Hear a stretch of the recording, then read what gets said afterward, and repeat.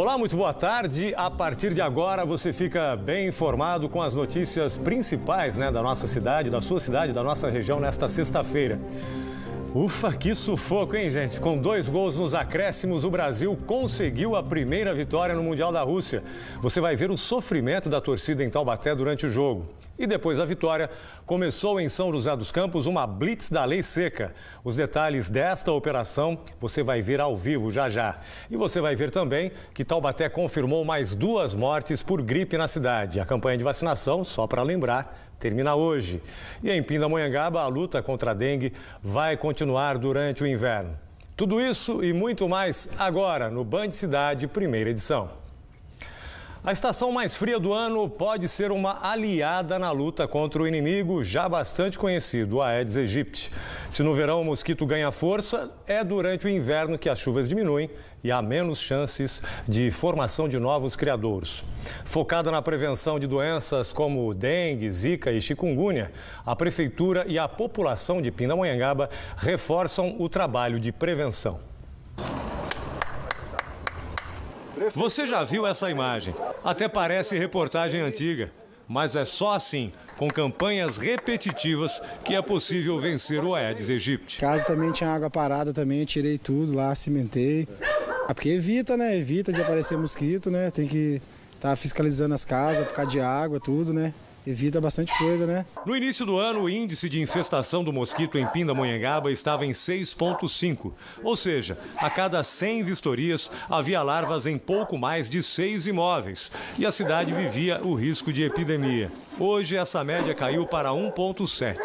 Resultado que o diretor da Vigilância Epidemiológica atribui ao constante trabalho de prevenção. Nós fazemos essa visita o ano inteiro, né? Aqui no município de Pindamonhangaba, nós já passamos mais de 60 mil imóveis. Então, no mínimo uma vez ao ano a gente faz essa visitação junto a essas imóveis, né? Por isso que a população também precisa se manter alerta e fazer essa visitação no seu quintal, no interior de suas residências, constantemente. A população aderiu a essa campanha, né? Justamente para que consiga eliminar qualquer tipo de criador do mosquito e também fez essa eliminação. Em 2014, a Prefeitura decretou o estado de calamidade pública após a cidade registrar mais de 3 mil casos de dengue. Ano passado, houve 30 registros e de janeiro até hoje, 26 pessoas contraíram a doença. Preocupado com a saúde da família, Marcos todos os dias faz uma vistoria no quintal. Faço a minha parte. Eu não deixo, eu não deixo vaso com água. Sempre faço a minha parte. Todo dia eu tô olhando porque faz parte. Pode olhar onde eu morava também é a mesma coisa.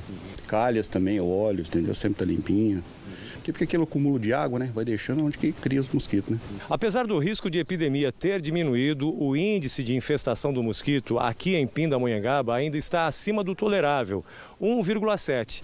E o Ministério da Saúde recomenda que esse número fique abaixo de 1. Por isso, as campanhas de conscientização acontecem o ano inteiro. E agora, no inverno, o clima frio e seco torna-se um aliado no combate ao mosquito. Nessa época de inverno, outono, era, existe a diminuição das chuvas, né, época de chuva. Então, naturalmente, qualquer superfície que possa acumular água, ela deixa de ser um criador.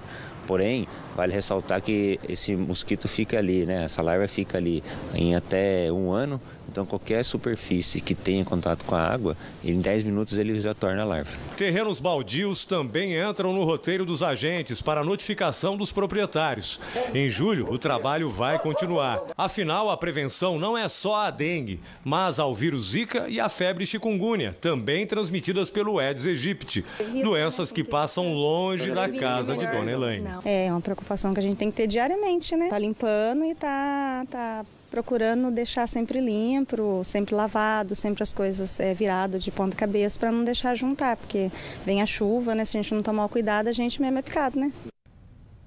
A Secretaria de Saúde de Taubaté confirmou ontem mais duas mortes por gripe na cidade. As vítimas são duas idosas, uma de 84 anos e a outra de 63, que morreram no início de maio. Taubaté soma agora oito mortes por gripe. A campanha de vacinação termina hoje às três e meia da tarde. A região ainda contabiliza mais uma morte por gripe em Lorena e duas em Jacareí. Dois jovens de 18 e 19 anos foram mortos a tiros ontem à noite no bairro Ipiranguinha, em Ubatuba. Eles foram baleados dentro de uma casa por dois suspeitos que chegaram em uma motocicleta. No local foram apreendidos cadernos com anotações sobre a venda de entorpecentes, uma touca ninja e celulares. A Polícia Civil suspeita que o crime tenha sido motivado por tráfico. Em depoimento na delegacia, a família das vítimas informou que eles eram primos e já tinham recebido ameaças por terem cometido assaltos na região. Ninguém foi preso até o momento. Ainda em Ubatuba, um homem foi detido nesta manhã por tentativa de estupro. O caso foi registrado no último domingo na região do Lázaro. O suspeito tentou cometer o crime no momento em que a mulher seguia para o trabalho, mas ela conseguiu escapar.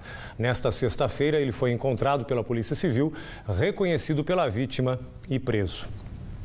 E um bar foi furtado nesta madrugada na zona oeste de São José dos Campos. Criminosos invadiram o local no Jardim das Indústrias e fugiram, levando uma televisão. A Polícia Militar realizou rondas pela região e nenhum suspeito foi encontrado. A PM ainda orientou o proprietário a registrar boletim de ocorrência na Polícia Civil. Depois do intervalo, ao vivo, as informações sobre a Blitz da Lei Seca que acontece hoje em São José dos Campos. E também você vai ver como a torcida de Taubaté acompanhou a vitória sofrida do Brasil sobre a Costa Rica no Mundial da Rússia. A hora certa para você, uma hora e um minuto. A gente volta já já.